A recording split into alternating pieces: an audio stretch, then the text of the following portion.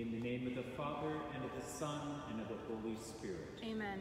The grace of our Lord Jesus Christ, the love of God, and the communion of the Holy Spirit be with you all. And with your spirit. Brothers and sisters, as we gather together to celebrate the great feast of Pentecost, let us acknowledge our sin and so prepare to celebrate the sacred mysteries.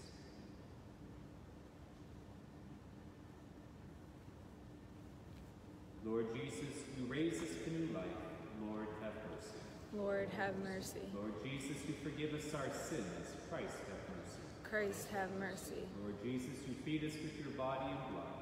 Lord, have mercy. Lord, have mercy. May Almighty God have mercy on us, forgive us our sins, and bring us to everlasting life. Amen. Glory to God in the highest. And on earth, peace to people of good will. We praise you, we bless you, we adore you, we glorify you. We give you thanks for your great glory. Lord God, heavenly King, O God, Almighty Father, Lord Jesus Christ, only begotten Son, Lord God, Lamb of God, Son of the Father, you take away the sins of the world. Have mercy on us. You take away the sins of the world. Receive our prayer. You are seated at the right hand of the Father. Have mercy on us. For you alone are the Holy One. You alone are the Lord. You alone are the Most High, Jesus Christ, with the Holy Spirit and the glory of God the Father. Amen. Let us pray. Almighty of the living God, who willed the paschal mystery to be encompassed as a sign in fifty days, grant that from out of the scattered nations the confusion of many tongues may be gathered by heavenly grace into one great confession of your name, through our Lord Jesus Christ, your Son, who lives and reigns with you in the unity of the Holy Spirit, one God, forever and ever. Amen.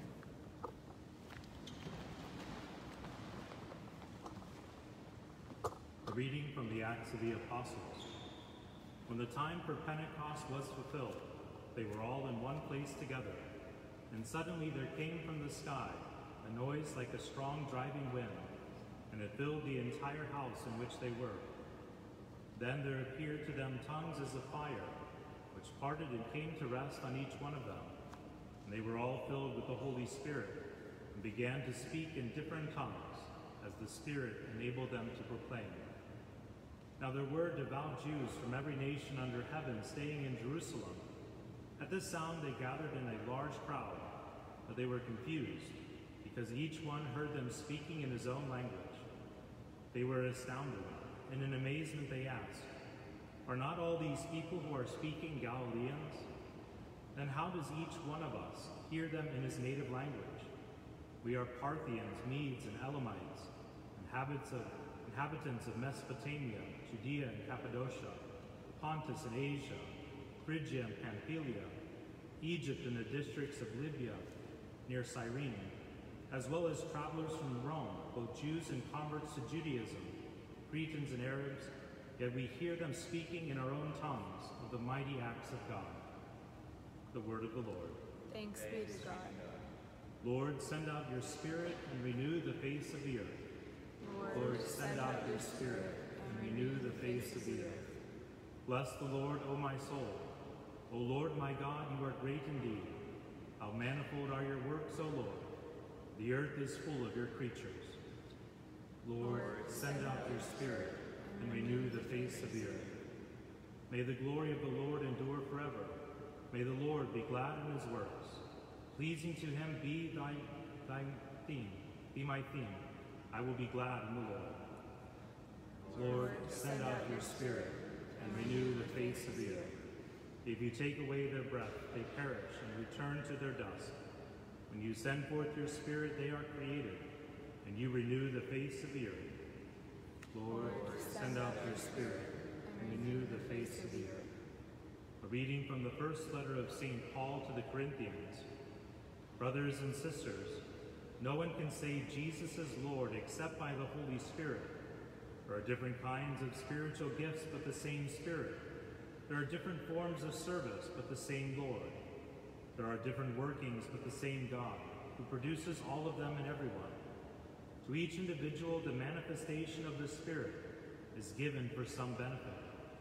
As a body is one, though it has many parts, and all the parts of the body, though many, are one body, so also Christ.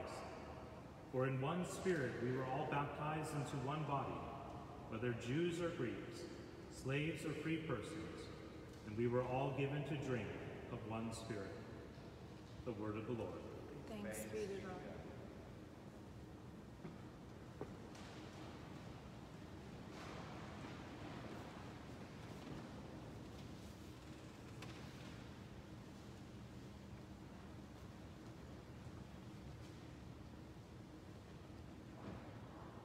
The Lord be with you. And with your spirit. A reading from the Holy Gospel according to John. Glory to you, O Lord. On the evening of that first day of the week, when the doors were locked where the disciples were for fear of the Jews, Jesus came and stood in their midst and said to them, Peace be with you. When he had said this, he showed them his hands and his side. The disciples rejoiced when they saw the Lord. Jesus said to them again, Peace be with you. As the Father has sent me, so I send you. And when he had said this, he breathed on them and said to them, Receive the Holy Spirit. Whose sins you forgive are forgiven them, and whose sins you retain are retained. The Gospel of the Lord. Praise to you, Lord Jesus Christ. I don't know if many of you watched last yesterday afternoon at four o'clock. Two young men were ordained to the priesthood of Jesus Christ at St. Mark's Seminary, Father Kevin Holland and Father Joe Patrone. And Bishop Persico, in his homily, talked about they'll never forget their ordination, being ordained during this coronavirus or pandemic. And if we just think about what we've gone through as a nation, as a community, as a family, as a church these last 11 weeks, you know, we'd ask ourselves, what did Jesus know about working his way through a pandemic? What did he know about the coronavirus? And the answer is very simply, he wouldn't have known. But that's why he sent the Holy Spirit to guide us. Today I had a funeral and we were going through the cemetery and I looked at one of the stones and it was a stone of, I believe, a father of a classmate when I was in grade school. About this time of year, I think we were in seventh or eighth grade, and he was killed in a motorcycle. And it got me thinking, you know, what did Jesus know about losing a parent in a motorcycle accident at the age of 13 or 14? And he didn't. But that's why he sends the Holy Spirit. The Holy Spirit is there to teach us how to love in every situation, to teach us how to forgive and love. And that's what we remind ourselves. in this great feast of Pentecost reminds us how lucky we are to have this gift. I always get a kick out of when I interview confirmation students, 11th graders, and you know they'll say, "Oh, Father, I don't want to be confirmed. I, am not interested. I don't believe in it." And I said, "Oh, you don't believe in the gift of the Holy Spirit that's there to help you, to guide you, to direct you, to teach you how to love in tough situations?" And they just kind of look at you. As Catholics, we don't understand what a great gift we have in the Holy Spirit. And this great feast of Pentecost gives us the opportunity to reflect on that. And we ask ourselves, do we allow the Holy Spirit to dwell within us? Do we allow the Holy Spirit to transform our hearts so that we can love and forgive in all situations, even when we don't totally understand what's going on or what God is calling us to? We trust that the Holy Spirit is there to guide us and to give us the strength to love and forgive A profession of our faith, using the Apostles' Creed.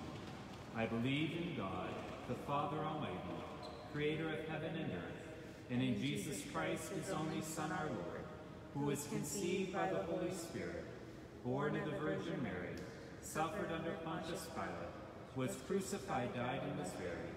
He descended into hell. On the third day he rose again from the dead. He ascended into heaven and is seated at the right hand of God, the Father Almighty.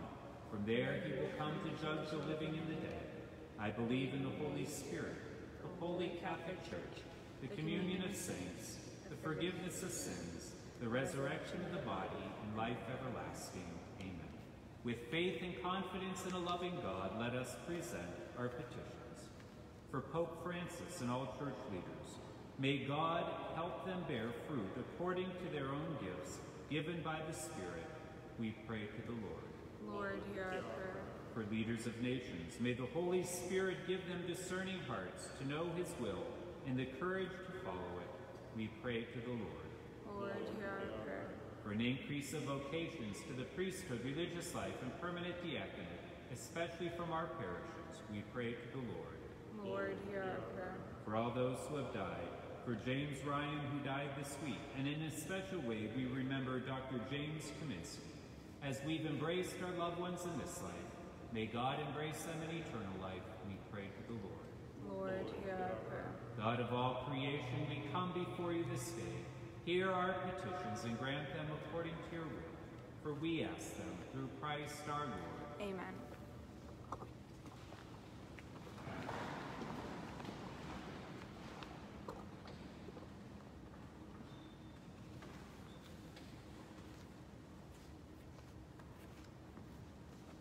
Blessed are you, Lord, God of all creation, for through your goodness we have received the bread we offer you. Fruit of the earth and work of human hands, it will become for us the bread of life. Blessed be God forever.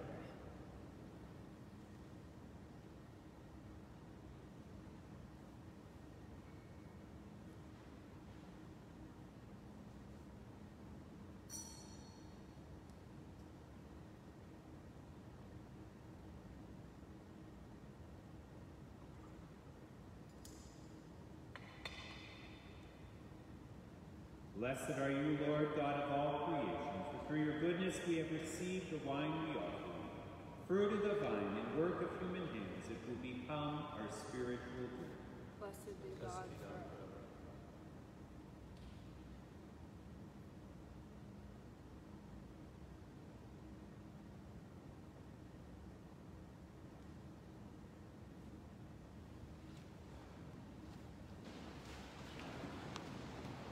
Sisters and brothers, that my sacrifice and yours may be acceptable to God, the Almighty Father.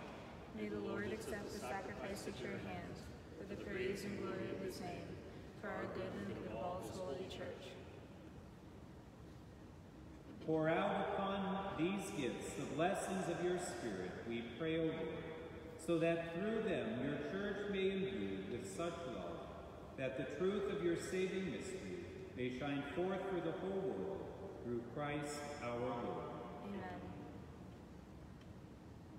The Lord be with you. And with your spirit, Lift up your hearts. we lift them up to the Lord. Let us give thanks to the Lord our God. It is right and just. It is truly right and just, our duty and our salvation, always and everywhere to give you thanks, Lord, Holy Father, Almighty and Eternal God, for bringing your paschal mystery to completion. You bestowed the Holy Spirit today on those who made your adopted children by uniting them to your only begotten Son. This same Spirit, as the Church came to birth, opened to all peoples the knowledge of God and brought together the many languages of the earth in profession of the one faith. Therefore, overcome with paschal joy, every land, every people exalts in your praise, and even the heavenly powers with the angelic hosts sing together the unending hymn of your glory as they acclaim. Holy, holy, holy, Lord God of hosts, heaven and earth are full of your glory. Hosanna in the highest. Blessed is he who comes in the name of the Lord. Hosanna in the highest. You are indeed holy, O Lord, the fount of all holiness. Make holy, therefore, these gifts, we pray, by sending down your Spirit upon them like the dewfall, so that they may become for us the body and blood of our Lord Jesus Christ. At the time he was betrayed and entered willingly into his passion, he took bread, and giving thanks, broke it, and gave it to his disciples, saying, Take this, all of you, and eat of it, for this is my body, which will be given up for you.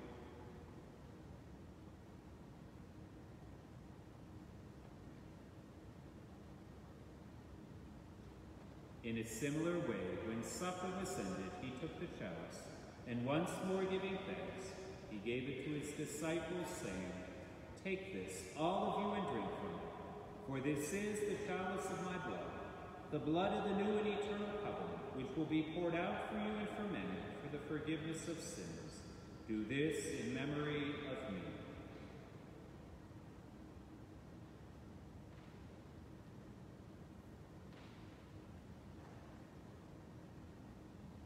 The mystery of. When we Eat this bread and drink this cup, we proclaim your death, O Lord, until you come again. Therefore, as we celebrate the memorial of his death and resurrection, we offer you, Lord, the bread of life and the chalice of salvation, giving thanks that you have held us worthy to be in your presence and minister to you. Humbly we pray that partaking of the body and blood of Christ, we may be gathered into one by the Holy Spirit.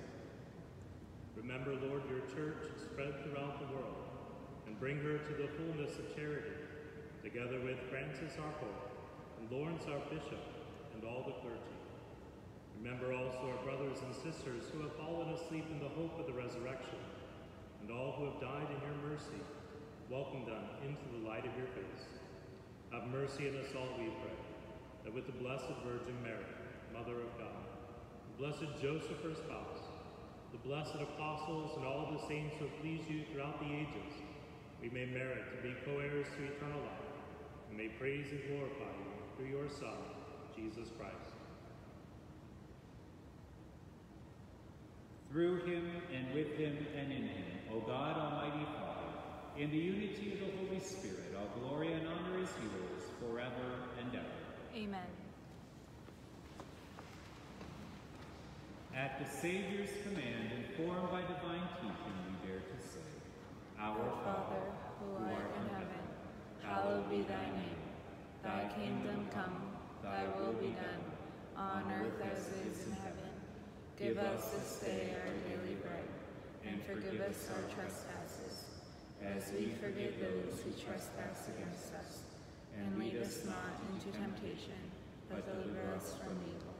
Deliver us, Lord, we pray, from every evil. Graciously grant peace in our days, that by the help of your mercy we may be always free from sin and safe from all distress as we await the blessed hope and the coming of our Savior, Jesus Christ. For the kingdom, the power, and the glory are yours, now and forever. Lord Jesus Christ, who said to your apostles, Peace I leave you, my peace I give you, look not on our sins, but on the faith of your church, and graciously grant her peace and unity in accordance with your will, who live and reign forever and ever. Amen. The peace of the Lord be with you always. And with your spirit, Lamb of God, you take away the sins of the world.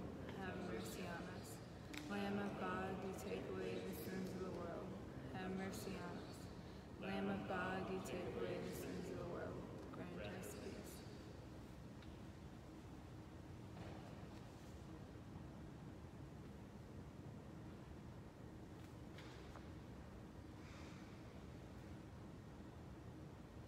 Behold the Lamb of God, behold him who takes away the sins of the world. Blessed are those called to the supper of the Lamb. Lord, I am not worthy that you should enter under my roof, but only say the word, and my soul shall be healed.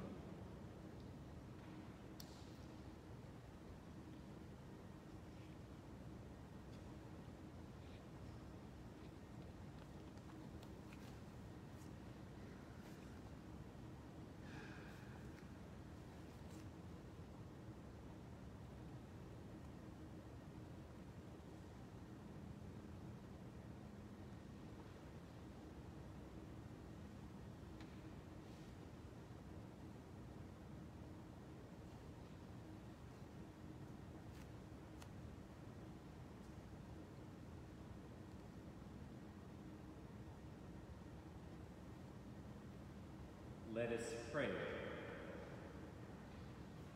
May these gifts we have consumed benefit us, O Lord, that we may always be aflame with the same Spirit, whom you wondrously poured out on your apostles, through Christ our Lord. Amen. Thank you for tuning in and praying for praying with us on this great feast of Pentecost, the last day of the Easter season. Just a reminder, tomorrow we will not have a holy hour in the morning and will not hear confessions. On Monday, June 1st, we go back to our regular schedule of masses, 6.30, 12.10, 5.15. Next weekend, we will have our regular scheduled masses. It'll be at 4 o'clock. We'll continue to live stream the 4 o'clock and the 8.30 on Saturday and Sunday, and the 12.10 during the week. There's a video on our webpage and on Facebook just giving you some reminders of what you need to do in order to come to Mass. Two very simple things. You need a mask and you need to stay six feet away from everyone. You need to social distance. Also, when you come to receive communion, your hands are flat. Don't cup, don't grab, because if you grab and you cup and I touch your hand or you touch mine, I have to stop, come back, purify my hands, and then give communion out again. People are going to let the air out of your tires if you hold up the communion line. So please remember, hands flat, Keep your mask on when you receive communion. After you receive the host in your hand, move to the side and then consume the host. If you watch the video, everything will go smoothly. We look forward to seeing you next week and starting on Monday. The Lord be with you. And with your spirit. May Almighty God bless you, the Father, the Son, Holy Spirit. Amen. Go in peace. Alleluia. Alleluia. Thanks be to God. Alleluia. Alleluia.